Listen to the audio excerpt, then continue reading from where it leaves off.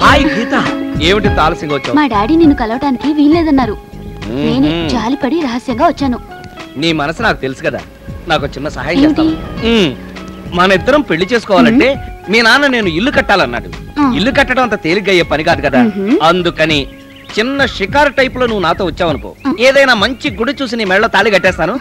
Cut చేస్తే ప్రేమ యాత్రలకు బృందావనం అంటూ duet లు పాడుకోవచ్చు. No no no no no.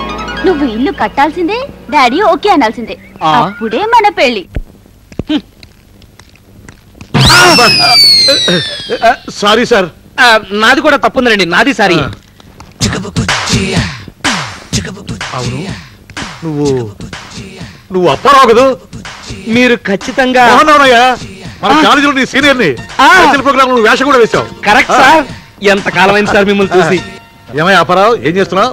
ఏముంది సార్? మన దేశంలో నిరుద్యోగులందరూ ఉద్యోగం కోసం ఏడిస్తే ఉద్యోగం ఇచ్చేవాడెవడు అవును. అందుకని స్వయం కృషితో ఇన్స్టాల్మెంట్లను పెట్టి దాని మీద నిలబడడానికి ప్రయత్నిస్తాను సార్. ఆ గ్రంథం వద్దు గారే రెండు టొమాటో సూప్ పట్రా పెళ్ళి చేసుకున్నావు అప్పారావు? ఇంకా లేదు సార్. చాలా లక్కీ ఫీల్ అయ్యా. పెళ్ళి అయితే అన్ని ప్రాబ్లమ్స్ అయ్యా అది కావాలి ఇది కావాలి ఇల్లు కావాలి స్థలం కావాలి కావాలి కావాలి కావాలి. అంటే ఇంకా ఎక్కడ స్థలం కొనలేదా మీరు? ఏం పెట్టుకుంటానయ్యా? బ్యాంకులో అరవై వేలు ఉంది. కానీ అరవై వేలకి ఏ ఎదగిస్తాడా మనకి స్థలం? ఎంతో కొంత అప్పు చేయాలండి. అప్పు చేయకుండా పనులు ఎలా జరుగుతాయి చెప్పండి? అప్పు మాత్రం ఎవరిస్తారయ్యా ఆఫీసులో అందరూ మనలాంటి వాళ్ళే. కొన్ని ఇరుగు పొరుగు చూద్దామంటే పక్కింటి తయారీ దగ్గర డబ్బులు ఉన్నాయి. అంటే సౌండ్ పార్టీ అన్నమాట.